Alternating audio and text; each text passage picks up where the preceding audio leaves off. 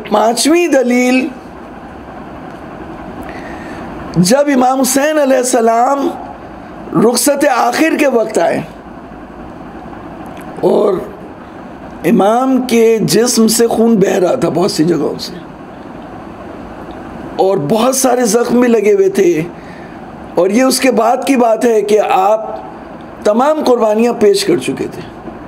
हज़रत अली असगर की कब्र बना चुके थे कासिम की लाश के टुकड़े ला चुके थे, अली अकबर का जनाजा उठा चुके थे, अब्बास के बाजू ला चुके थे, तमाम असहाब के लाशें ला चुके थे। उसके बाद हुसैन के पास जब कुछ भी नहीं बचा तो अब हुसैन खुद शहादत के लिए जा रहे थे। उस वक्त हुसैन ने जब विदाय आखिर के लिए सलाम किया तो कहा, या जैनब, या उम्म कुलसूम या सकीना, या फातिमा, या सकीना, अलैकुन्न मिन्नी सलाम। तो वहाँ इमाम हुसैन ने, जहाँ जैनब को सलाम किया, जहाँ उम कुलसूम को सलाम किया, जहाँ सकीना को सलाम किया, वहाँ फातिमा सुगरा को सलाम किया।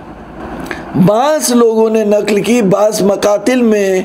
मैंने ये देखा कि जब बीबी दरबार यजीद में पहुँची हैं तो आपने यजीद से ख़िताब किया।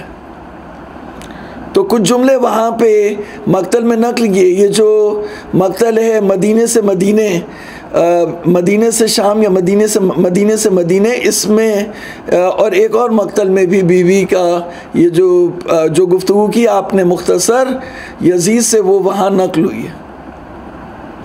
ये जो दलील है वो बहुत ज़्यादा लोगों ने नकल नहीं की या इसके बारे में मैंने बहुत ज़्यादा अभी तहकीक नहीं की।